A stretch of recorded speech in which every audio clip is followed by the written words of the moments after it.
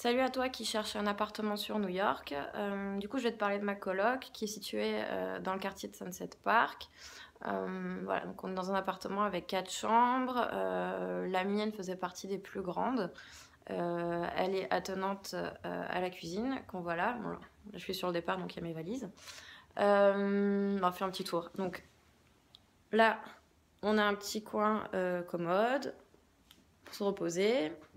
Là, on a un coin bureau pour travailler. Ça, c'est euh, un accès à la chambre d'un autre coloc qui est condamné. C'est mitoyen à mien, à ma chambre. Euh, le lit, qui est un grand lit, et euh, une grande armoire quand même pour mettre, pour mettre ses affaires.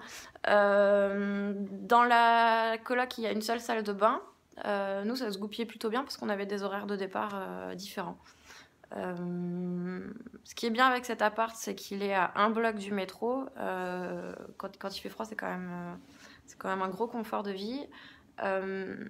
donc le métro, il dessert la N et la D qui sont express.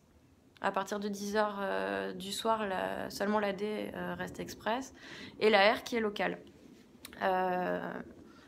On n'a personne au-dessus, parce qu'on est situé au quatrième et au dernier étage euh, de l'immeuble, ce qui est quand même sympa, et euh, on n'entend pas du tout les voisins du dessous.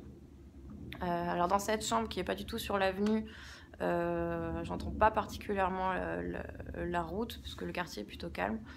en tout cas, ça m'a jamais empêché de dormir. Que dire?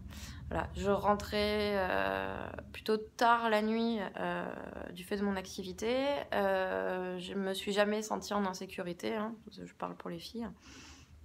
voilà. Après, le quartier fonctionnel, on a un, un landry à un bloc pour faire ses lessives. Il y a une petite supérette sur la 25e, sachant qu'on est à la 34.